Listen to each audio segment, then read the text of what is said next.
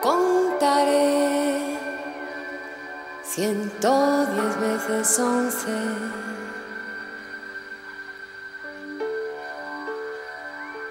Con un sarcasmo infinito.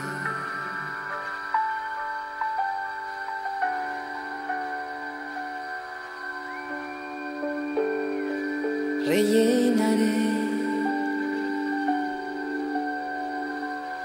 de nuevo mi vaso.